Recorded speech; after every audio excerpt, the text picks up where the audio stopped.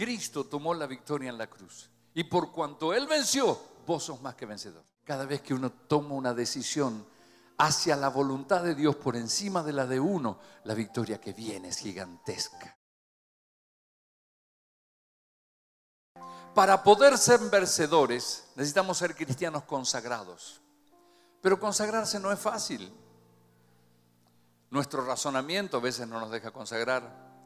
Nuestro, nuestro egoísmo personal no nos deja consagrar.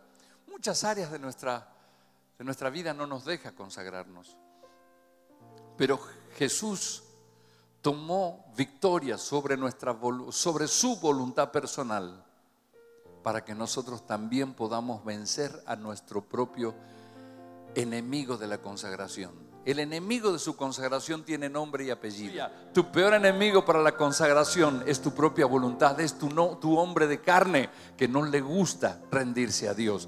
Pero Dios hoy te va a dar una victoria sobre, esta, sobre esa área. Así que vas a vencer al peor enemigo de la consagración que vos tenés. ¿Sabe una cosa? Cuando usted declara su nombre, usted sabe que ese que usted mira en el espejo todos los días hay que tenerlo cortito. ¿Sí? Para poder desarrollarnos. Cuanto más rendidos estamos, más poderosos nos volvemos.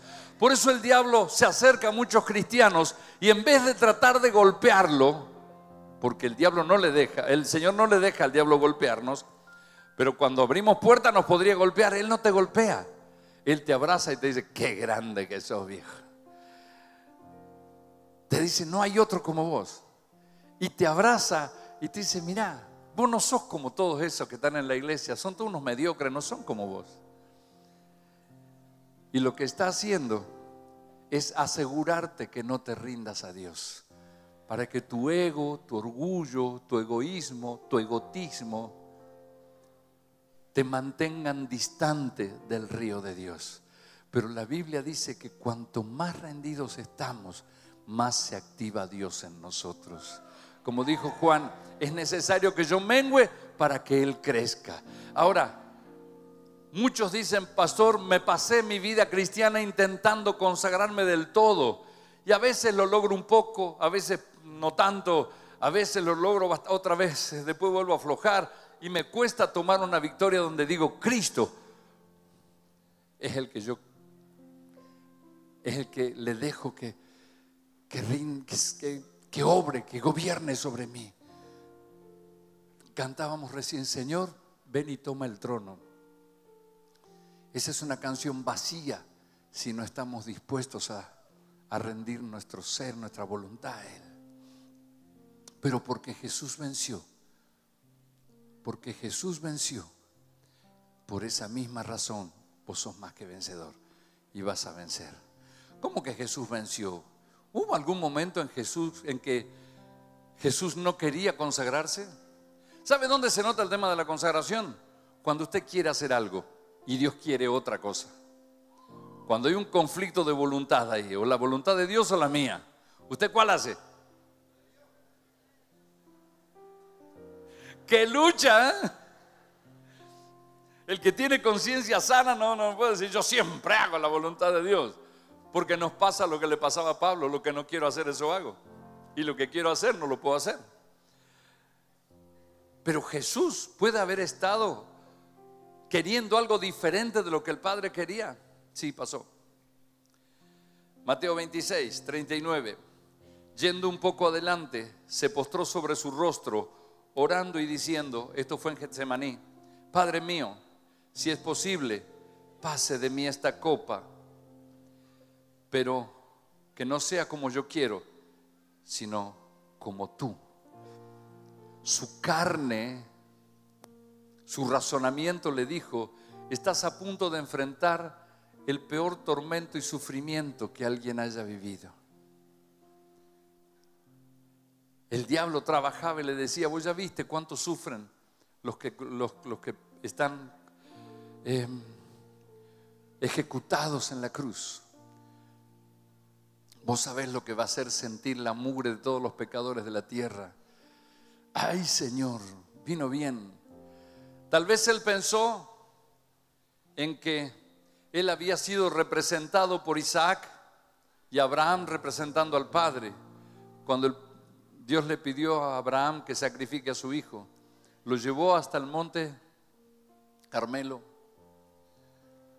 subió, su hijo llevaba la leña seguramente, y cuando lo puso en el altar a punto de sacrificar, tomó el cuchillo, agarró el cuello de su hijo para cumplir la directiva y un ángel del cielo dijo, no, no lo hagas, ya demostraste que, que sos capaz. Y lo dejó. Y Dios le entregó un cordero que estaba enredado ahí, un carnero que estaba enredado entre unas espinas. Fue un símbolo de cómo el Padre entregó a su Hijo para redención. Es más, por causa de la decisión de Abraham, dice que le dio eh, una descendencia incontable de judíos y de creyentes en fe como él. Era una revelación clara. Tal vez Jesús dijo, bueno, ahora falta el ángel que venga y te diga, no, no lo hagas. Padre, si puedes, pasa de mí esta copa. Pero esta vez no estuvo el ángel, porque ahora sí él tenía que dar su vida. Pero él dijo, Señor, no lo hagas, por favor. Busca algo, Señor, y zafame de esto. No quiero ir a la cruz. No quiero ir a la cruz. No quiero ir a la cruz. Y en un momento aprieta los dientes y dice, Señor, pero que no se haga mi voluntad sino la tuya. Esa fue su victoria. Cuando uno decide, voy a hacer lo que Dios quiere y no lo mío. Es un momento duro, es un momento que no huele bien, es un momento que tiene sabor a muerte. Cuando vos decís, este, esto es lo que yo quería, este auto, este viaje, este negocio, no sé, algo quería, pero no, yo sé que no es tu voluntad. Y uno cede, ese momento es amargo, es pesado, es duro, pero es una victoria aplastante que te va a cambiar el resto de la vida. Cada vez que uno toma una decisión hacia la voluntad de Dios por encima de la de uno, la victoria que viene es gigantesca. Así que en ese momento Él venció, venció, venció. Cuando dijo, Señor, no se haga mi voluntad. Esa lucha interior con ese que miras en el espejo no te puede vencer. Muchas veces te venció. Muchas veces ese que miras delante del espejo hizo que se retrasen las bendiciones, un año, dos años, cinco años, bendiciones que ya las tendrías que tener, no sucedieron, porque a veces te lo estaban demorando. Pero quiero avisarte algo, que cuando entendiste que las victorias de Dios son tuyas, ahora porque Él venció a su yo, y él logró consagrarse en plenitud, hoy Dios te desata una autoridad para consagración. Cuando vos le digas, Señor, yo quiero rendirme, vendrá un poder sobrenatural que te hará tomar la decisión correcta y liberar la potencia de Dios en plenitud sobre tu vida. Lo que viene será maravilloso. Después de esa negación, después de ese momento de decisión que parece tan duro, viene una victoria aplastante que te va a durar años, años, años, años de bendición. Aleluya, sí Señor. Segunda victoria de Cristo que es suya. Voy a hablar de siete victorias de Jesús. Segunda victoria es cuando viene la tentación. Señor, nunca más lo voy a hacer, nunca más lo voy a hacer, nunca más lo voy a hacer. Señor, lo hice, perdóname otra vez. A veces vamos logrando victorias. Antes, Señor, era adúltero, ahora soy fiel. Sí, pero me prometiste que tampoco te ibas a enojar más y ahora igual haces lío tal lo grito en la casa. Está bien, Señor, te prometo que no. Nunca más, Dios mío. Yo sé, ahora la tengo clara que nunca más te voy a fallar. Señor, nunca le voy a gritar a mis hijos. Señor, solo te amo a ti y voy a obedecerte. Papá, te pido algo. No ves que estoy orando. Y empezamos de nuevo. Las tentaciones vienen con poder. Cuando aparecen, son pequeñas como unas cucarachitas nomás que están ahí y te dicen, eh, tenés que pecar. Y a veces la carne dice, eh, mira, un bichito, no te va a hacer nada, la pisas cuando quieras. Y entonces algunos empiezan a jugar con la tentación ¿Y cómo sería? Uy, si caería. No, yo no voy a caer nunca, pero ¿cómo sería si caería? Y está ¿Sabe qué va pasando? Cuando está jugando con la tentación empieza a crecer. Entonces dijo, bueno, matala. Pero verá que ya es más grande, esto ya no es una cucaracha, ahora parece un carpincho. Y pero también está simpático, no es malo. Cuando te das cuenta se vuelve un monstruo que te hace pedazos el matrimonio, el negocio, la economía, tu relación con Dios, la unción que tenías. Viene y te hace pedazos porque está ahí. Las tentaciones tienen su propio poder, pero Dios pone un manto de vencer tentaciones y hace que seamos capaces.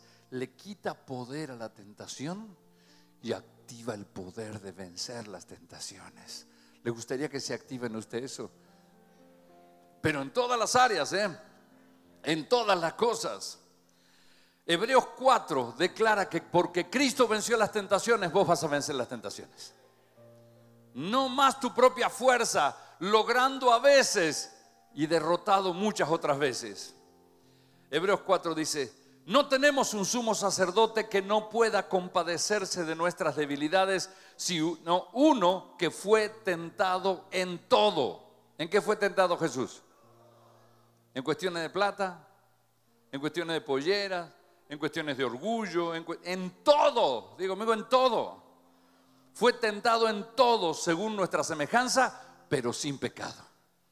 Por eso Él es un sumo sacerdote que cuando usted le dice la lucha que está teniendo, Dios lo entiende, porque Él sabe lo que se siente. Pero también sabe cómo vencer. Y Él en su victoria desató poder para que usted mantenga esa victoria.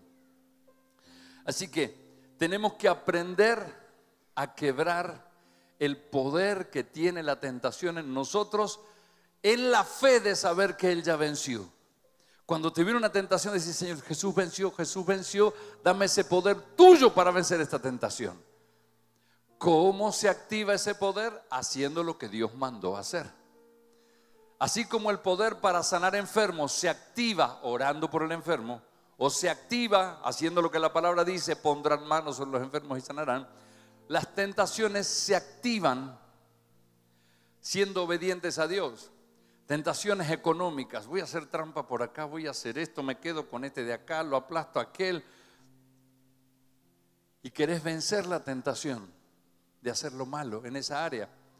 Pero Dios dice que tenemos que aprender a no ser codiciosos y sacarla de encima. Dios nos enseña que tenemos que, en las tentaciones morales, huye de las pasiones juveniles. No juegue, no juguetes con eso. Está dándonos muchas directivas de cómo hacerlo para apropiarnos de ese poder. A mí me sorprende cómo tenía problemas de tentación el apóstol San Pablo. En Romanos 7, él dice, ay, tengo algo que decirles. Apóstol San Pablo, nos vas a contar las visiones que tenés.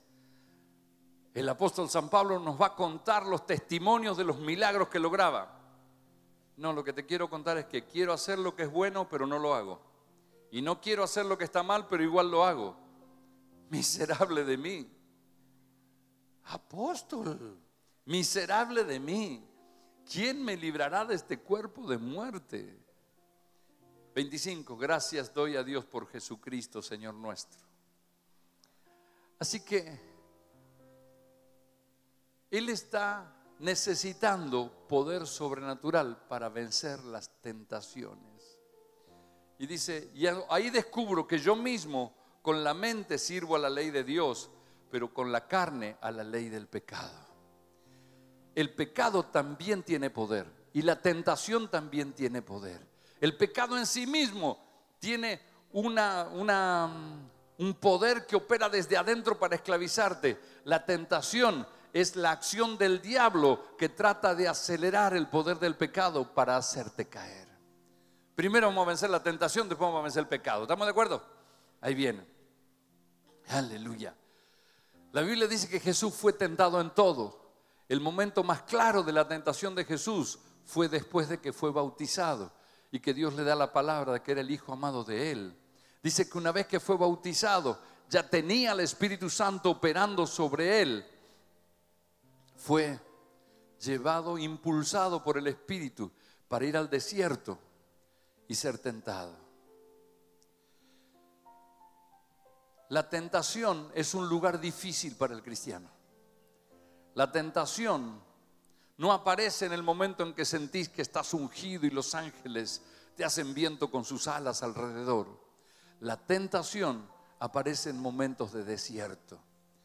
Jesús podría haber sido tentado en Jerusalén, pero lo que pasa es que él iba a ser probado al extremo. El lugar donde nosotros caemos es en el desierto.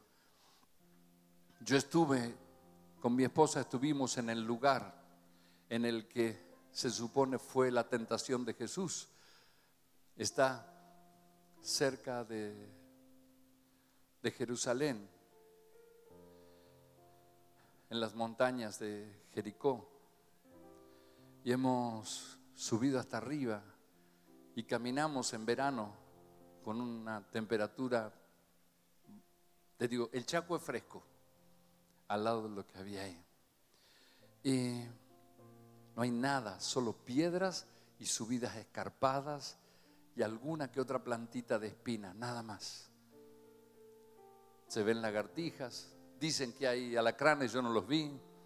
Un lugar horrible. En ese sequedal se quedó el Señor, fue enviado, sin fuerzas físicas, sin discípulos que lo acompañen, sin ángeles que se muevan alrededor de él. El desierto simboliza ese lugar en el que somos tentados, que nos agarra solos, nos agarra con la guardia baja, porque estamos pasando un problema, porque estamos sin fuerza, porque estamos desanimados. Es el momento en que tira el zarpazo para hacernos caer. Vencer una tentación cuando estás en medio de una adoración de gloria es fácil, pisas la cucaracha y listo. Pero cuando estás en un desierto total, somos vulnerables y es ahí donde se ve el poder de Dios. Quiero decirte que cuando te llegan las tentaciones, estoy seguro que las que te hicieron caer fueron un momento de desierto, estabas peleado con alguien, habías enfrentado un fracaso, algo te había pasado, alguien te desilusionó y cuando estabas en esa sensación de sequedad y de vacío, ahí aparece el tentador. Y Jesús fue impulsado al desierto. Y el diablo probó una por una diferentes tentaciones. Inclusive fueron tentaciones tipo religiosas porque usaba Biblia.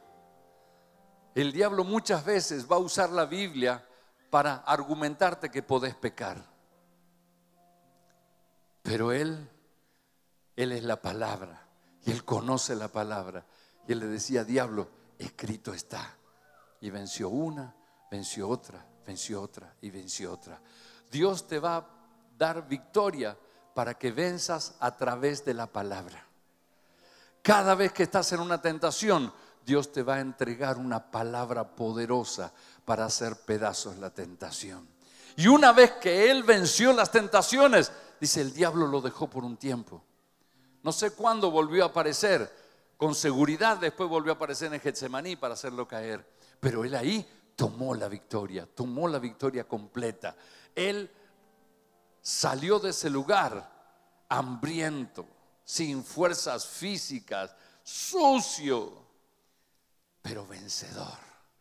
Había dentro de la expresión de cansado que tenía y de hambriento, había una mini sonrisa dentro de él diciendo, lo vencí al diablo este en el nombre de Jesús y ahora esa victoria que tomé se la voy a entregar a cada uno de ellos. Y saben que él Dice la Biblia que después de ser bautizado con el Espíritu vino la tentación y después de vencer la tentación volvió a Jerusalén en el poder del Espíritu Santo. Vencer la tentación es el camino más rápido a empoderarse sobrenaturalmente como Dios.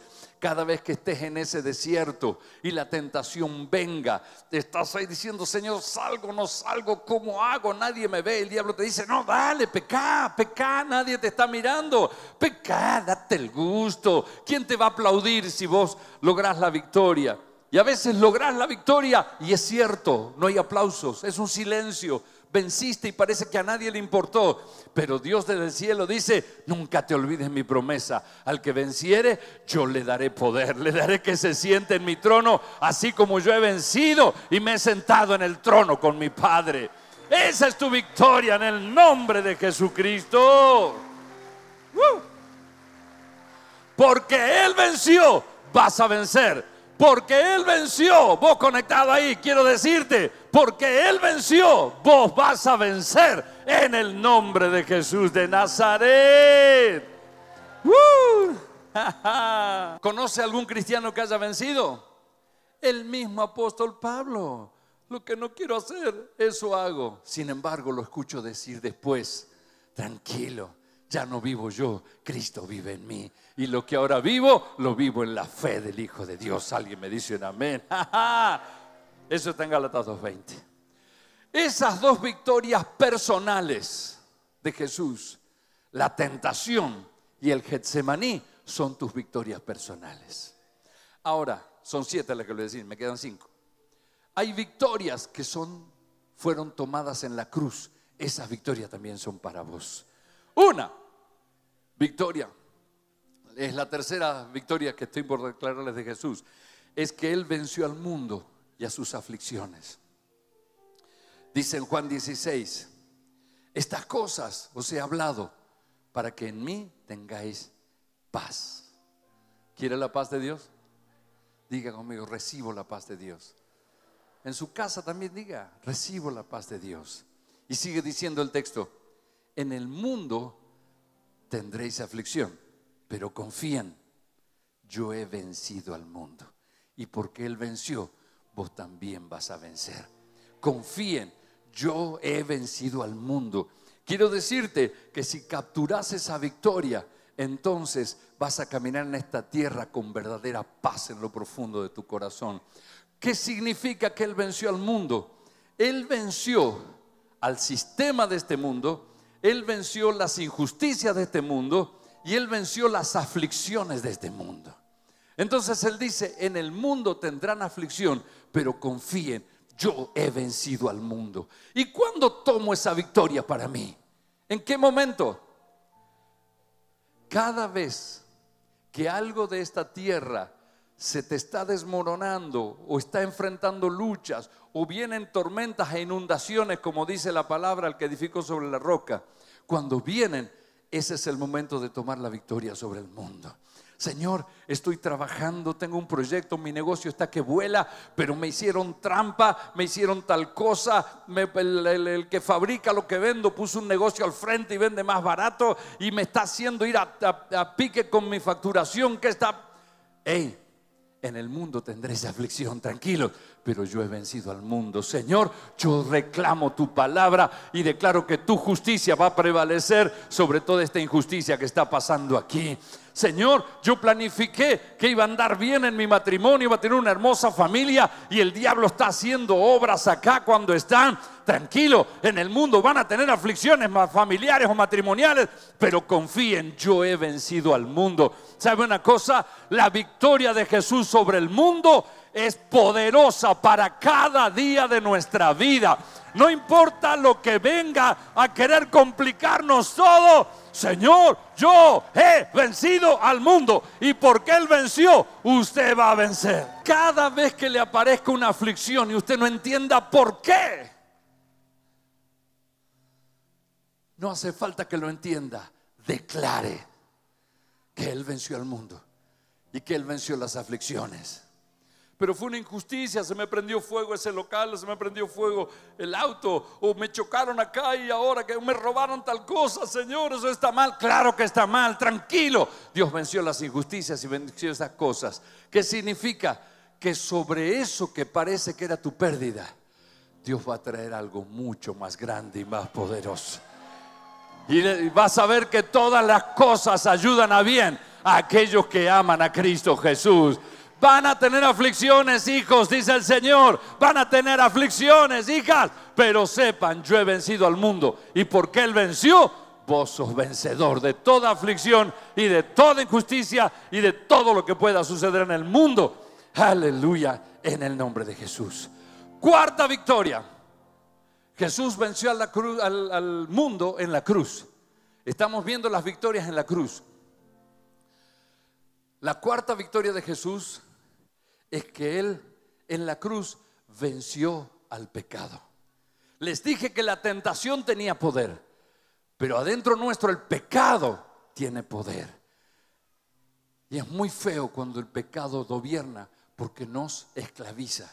Estamos viendo que perdemos la familia, pero el pecado del juego de azar nos sigue empujando a hacer lo mismo, o los vicios del alcohol, y sabes que esta botella que tenés delante te está destruyendo a los hijos, la casa, la familia, y no lo podés dejar porque ese pecado tiene poder. Quiero avisarte y darte una noticia, darte una gran noticia.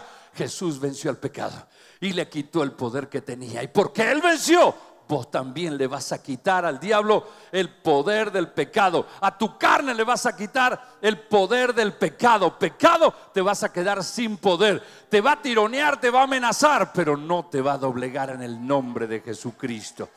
Uh, aleluya. Dice,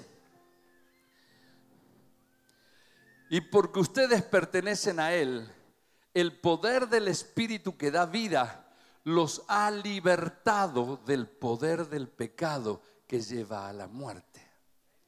Porque ustedes pertenecen a Él, el poder del Espíritu que da vida los ha libertado del poder del pecado que lleva a la muerte. Así que Dios hizo lo que la ley no podía hacer, lo que la religión no podía hacer. Envió a su propio Hijo en un cuerpo como el que nosotros los pecadores tenemos y en ese cuerpo, mediante la entrega de su Hijo como sacrificio por nuestros pecados, escuche, Dios declaró el fin del dominio que el pecado tenía sobre nosotros. Dios declaró el fin del dominio que el pecado tenía sobre nosotros.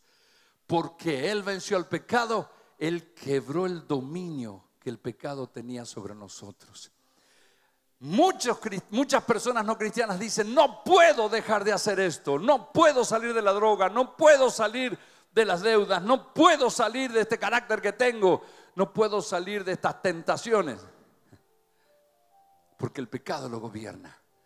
Pero los cristianos pueden decir, porque Él venció, yo soy más que vencedor.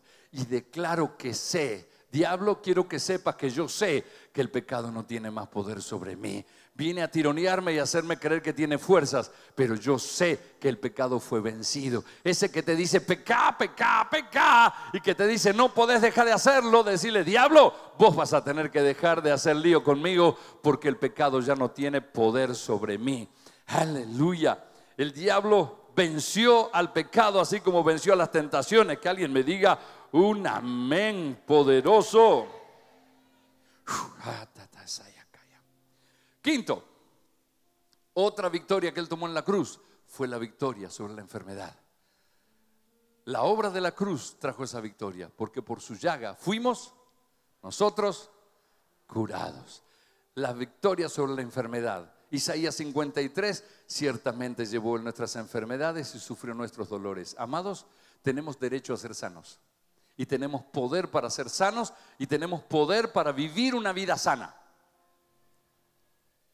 Créale a Dios y usted va a vivir una vida sana. ¿Cuánto me dicen amén a eso? ¿Le gustaría que Dios lo sane?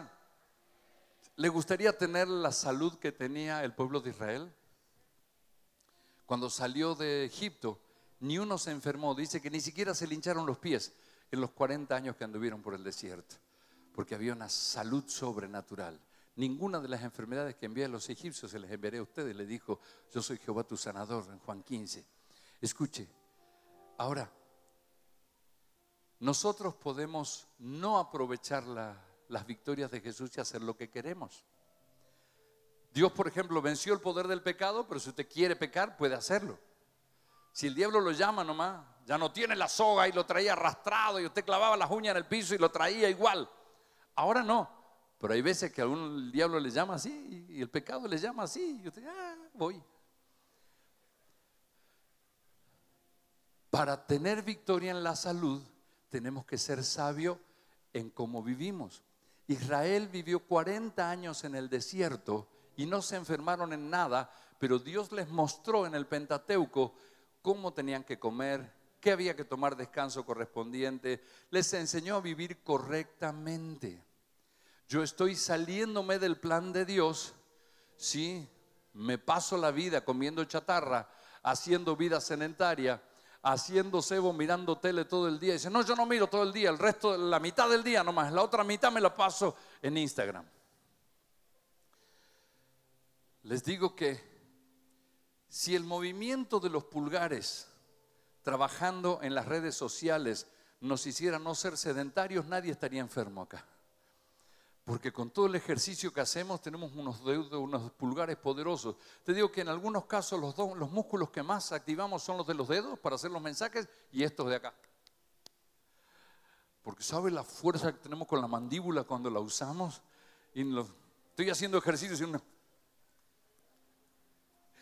Cuando nosotros aprendemos a ser sabios en la administración de nuestra vida, en lo que comemos, en lo que hacemos, aprendemos a cuidarnos, aprendemos a ser sabios, aprendemos a, aprender, a leer, a entender, a preguntar y hacer las cosas bien, vamos a traer del Señor no solo el poder para sanar, el poder para, para ser sanado no hay problema, créale a Dios y Dios lo sana. Pero me imagino que a veces Dios le cansa sanar tantas veces a gente que Él la sana, pero nuestro estilo de vida sigue trayendo enfermedades sobre nosotros. Así que desde ahora, todos en la iglesia, fit. Todos en la iglesia activados en ejercicio. ¿Qué les parece? Vamos a tener reuniones así, todos en jogging, acá este, activados y amados. Vamos a hacer la Santa Cena con ensaladitas. ¿Usted me entendió el mensaje? ¿Entendió que tenemos que ser sabios para activar las bendiciones del cielo? ¿Cuántos son totalmente sabios en su vida, en lo que hacen de comida y de actividad física?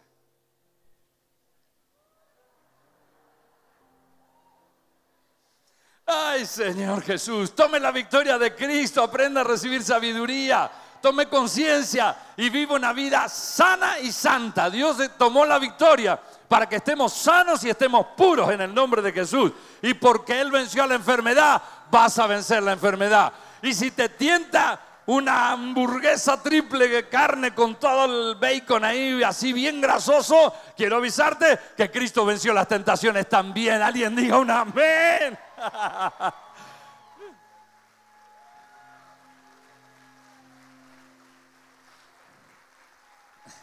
Sexta victoria de Jesús. Uh. El Señor en la obra de la cruz venció la condenación. Cristo en la cruz venció la condenación. Romanos 8 dice, por lo tanto, ya no hay condenación para los que pertenecen a Cristo Jesús. ¿Por qué? Porque Dios desarmó el plan del acusador. Ahora tenés victoria sobre el acusador y el espíritu de condenación y el espíritu de culpa. El espíritu de condenación es un homicida de cristianos. El espíritu de culpa hace que muchas personas, y ahí vos me estás mirando, puede ser uno de estos casos, sienten que no puede venir a la iglesia. Yo tengo que congregarme por internet porque no puedo entrar a la iglesia después de cómo me porté. Dejé mi vida, dejé mi camino, me descarrilé por ahí. Claro, ya pagaste tus consecuencias, perdiste la plata, perdiste la paz, quedaste todo mal, enfermo. Mucha gente le pasa eso, pero encima no puede venir porque la condenación no le deja el diablo le está acusando en el oído y le dice, no podés, no podés tener cara para volver y pisar ese lugar. Bueno, yo quiero avisarle que Cristo tomó victoria sobre la condenación. Y Él dice, ninguna condenación hay para los que están en Cristo Jesús. No importa el tropiezo que hayas pegado, si te arrepentís al momento, si te arrepentís en el instante en que te arrepentís y levantás tu mano y le decís, Señor, aquí estoy. Él dice, corran los ángeles y levanten a mi hijo, porque es mi hijo, porque esta es su casa, porque Él fue llamado y tiene un lugar en el cielo.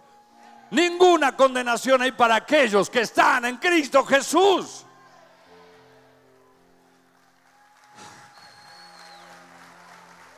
Gálatas aclara.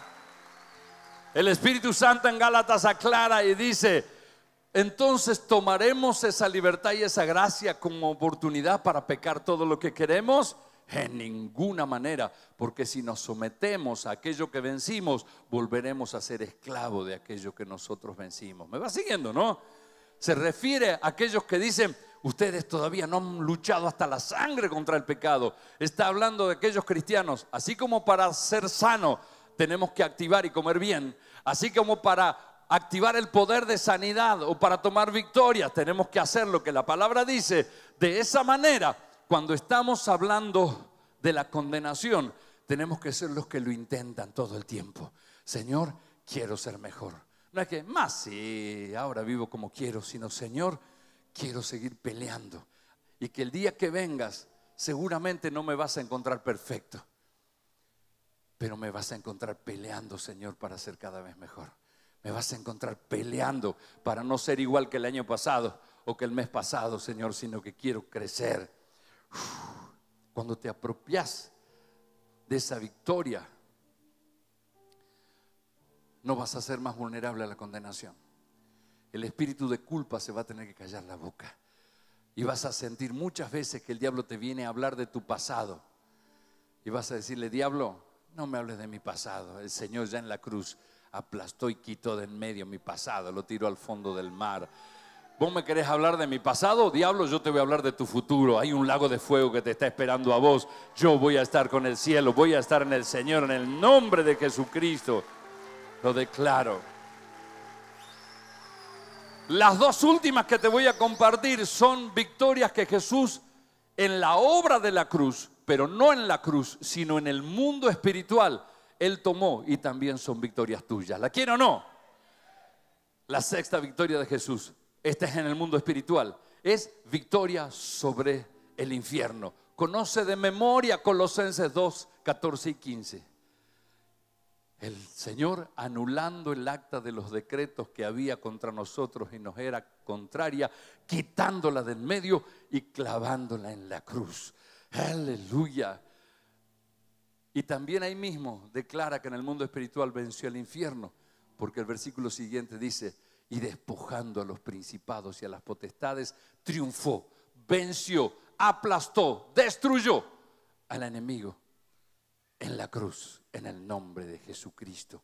Así que, así como Dios ya estableció que sos más que vencedor, también ya estableció jurídicamente, formalmente, legalmente, que el diablo fue vencido.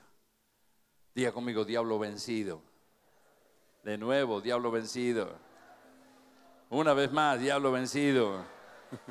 Cuando te paras en esa victoria, vas a poder confrontar todo ataque del infierno. No importa lo que sea. Cuando entendiste que el diablo fue vencido, cuando entendiste que tuvimos la victoria jurídica, esa es nuestra. Y la victoria em, sobre el infierno, esa es nuestra. ¿Qué es victoria jurídica? Que antes había un papel que decía que tenías que ser derrotado que era tu lista de pecados. Pero la Biblia dice que cuando aceptamos al Señor, Él anuló el acta de los decretos, tu lista de todos tus pecados y las quitó del medio, se las sacó de las manos al diablo que la usaba para vencerte, mientras el diablo, el diablo como un hombre fuerte armado guarda su palacio, está en paz y nadie se lo puede quitar hasta que viene uno más fuerte que él y le vence y le quita sus armas en las que confiaba. Había una carpeta que decía no podés entrar al cielo ni podés tener victorias en la tierra por todo lo que hiciste.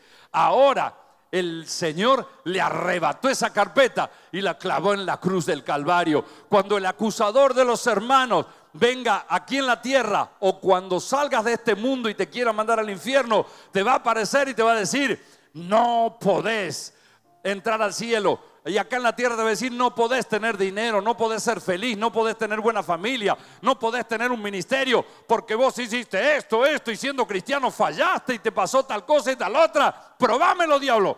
Ah, te voy a mostrar la carpeta, ¿dónde está la carpeta? ¿Dónde está la lista que tengo? Diablo, mira ya, la carpeta está ahí. Y cuando diablo mira la cruz, se quema y se deshace porque sabe que él fue vencido. Él te dio la victoria jurídica y también te dio la victoria completa, militar sobre el diablo para que la ejerzas, porque despojó a los principados y a las potestades. Eso quiere decir que cuando el diablo viene a atacarte, vos sabés que es un diablo vencido y que tenés autoridad sobre él. el diablo va a venir a parecerte como que él tiene toda la fuerza y toda la victoria, todas las cosas. Pero cuando te va a atacar, él sabe que fue vencido. He visto hace dos noches en un video de bloopers un perro furioso, furioso, le cae así la baba mientras muestra los dientes. Un lindo bicho. Le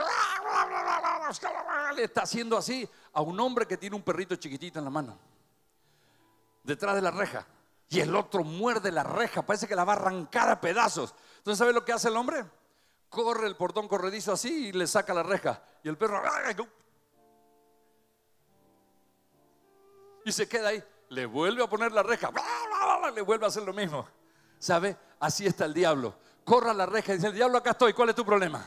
¿Sabes una cosa? Yo sé que fuiste vencido. Yo sé que desfilaste avergonzado. Yo sé que no podés tocarme. Y la última victoria que es tuya es la victoria sobre la muerte. Aleluya.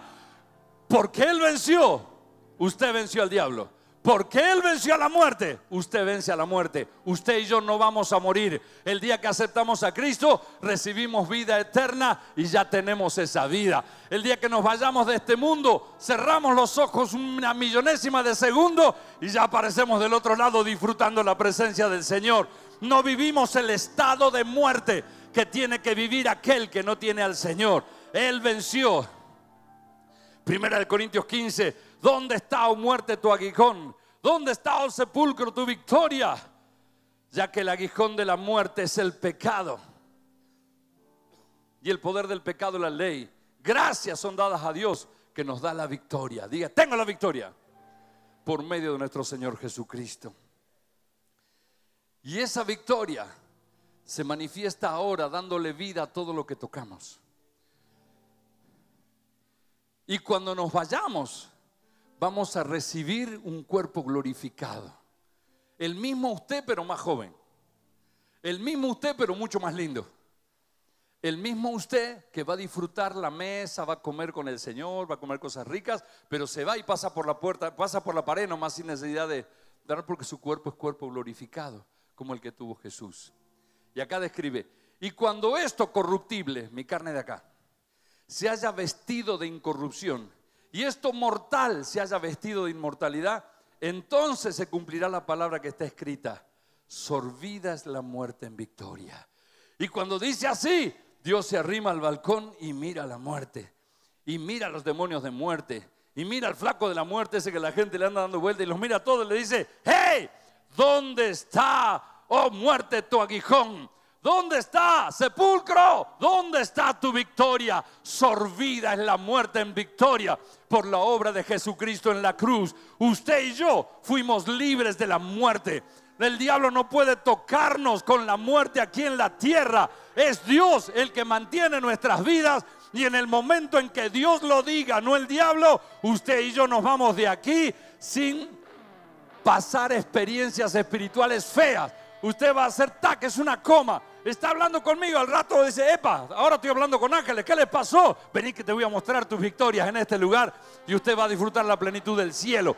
Aleluya. ¿Sabe? La muerte no tiene poder sobre usted. No se van a morir sus sueños, ni sus planes, ni va a tocar tu casa. La muerte no va a destruir los proyectos, no va a destruir tu ministerio, no va a destruir tu llamado. Ahora tomamos la victoria de Cristo que me dijo algo y se lo dijo a usted. Yo he venido para que tengan vida y la tengan en abundancia. Y esa vida que la recibo la voy a disfrutar desde hoy y por toda la eternidad. Lo declaro en el nombre de Jesús y el pueblo de Dios dice, uh, póngase de pie y reciba la activación. Ahora mismo, Padre. Primero hago una declaración. Yo voy a hacer una oración sobre su declaración. Yo voy a hacer una oración sobre su declaración. Diga conmigo, porque Él venció. Yo soy más que vencedor. Él venció la carne. Yo soy más que vencedor. Él venció la voluntad personal. Yo soy más que vencedor. Él venció la enfermedad. Yo soy más que vencedor. Él venció la tentación. Yo soy más que vencedor. Él venció el pecado. Yo soy más que vencedor. Él venció a las aflicciones y a las injusticias de este mundo. Por eso, para ese derecho, yo soy más que vencedor. Él venció al diablo. Y yo soy más que vencedor. Ahora que lo sé, en la lucha espiritual, mi dedo índice tiene más autoridad. Voy a ejercer esa autoridad. Porque yo sé que ahora no es mi dedo, es el dedo de Dios. Porque es la victoria de Él. Yo declaro que porque Él venció a la muerte, yo no le tengo miedo a la muerte. Yo soy más que vencedor en todas estas cosas, en el nombre de Jesús. Padre, ellos han hecho una declaración ahora y yo los bendigo.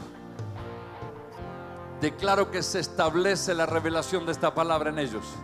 Se establece el poder y la autoridad de ser más que vencedores. No andaremos por esta vida derrotados. No andaremos por esta vida avergonzados, sino que nos pararemos en victoria en el nombre de Jesús. Parados en victoria, parados en victoria en el nombre de Jesucristo. Declare mil veces, en el nombre de Jesús declaro que estoy en victoria. Estoy en victoria, victoria total en el nombre de Jesús.